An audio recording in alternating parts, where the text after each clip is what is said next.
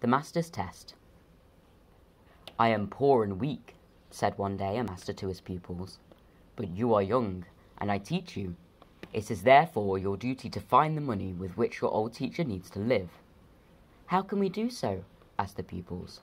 The people of this town are so little generous that it would be vain to ask them for help. My sons, replied the teacher, there is a way to gain money, not by asking, but by taking. It would be no sin for us to steal, for we deserve the money more than others. But alas, I am too old and weak to do it. We are young, replied the pupils. We can do it. There is nothing we would not do for you, dear master.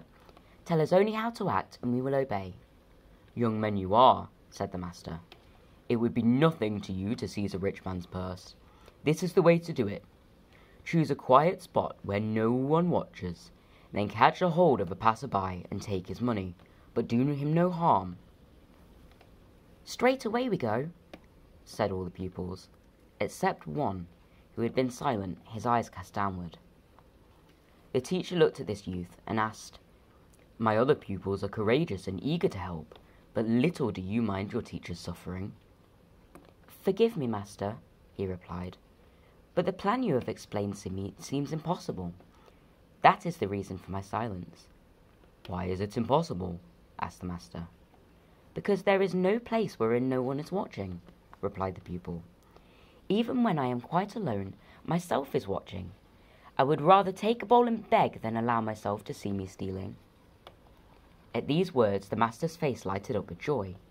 He took the young pupil in his arms and embraced him. Happy I am, he said, if among my pupils one has understood my words.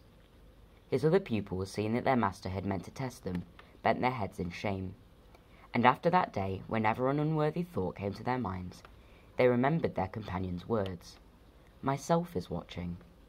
Thus they became great men, and they all lived happily ever after.